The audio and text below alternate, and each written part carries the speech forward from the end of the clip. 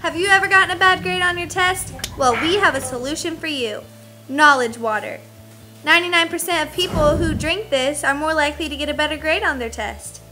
Doctors recommend this for students who have a grade point average less than 3.0. Get all your answers right on your next test. Get an A+. plus. Drink knowledge water. Yes.